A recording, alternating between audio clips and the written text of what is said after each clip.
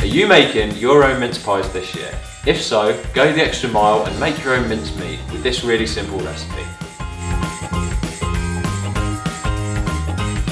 And the best way to start making mincemeat is to weigh out all of your ingredients beforehand, which are listed on this page. And the first thing we need to do is to really finely chop up our Bramley apple, and don't worry, it doesn't need peeling. And then, into a mixing bowl, pour in your 400 grams of mixed fruit, followed by 100 grams of suet and your 150 grams of dark brown sugar.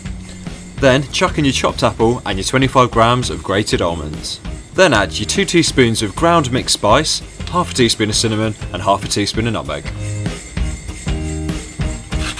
Then taking a grater, grate in the zest of one orange into the mixture.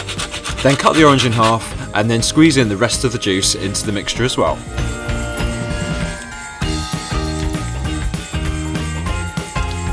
Now this is the important bit. You need to add 3 tablespoons of brandy to the mixture.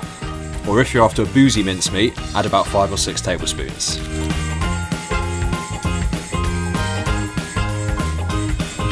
And the next step is to get down and dirty with the mincemeat. So with your clean hands, thoroughly mix everything together so it's all combined. And then all you need to do is stick it in the fridge for about 10 hours or leave it in there overnight and make sure you keep stirring it regularly. And then take it out the fridge and it's ready to use in your own mince pies. And we've got a great mince pie recipe that you can use this mince meat in. To see the recipe, just click on the link on screen.